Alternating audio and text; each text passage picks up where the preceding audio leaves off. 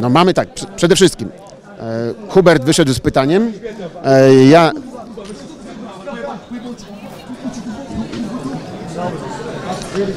No, słabe, kurwa. Słabe.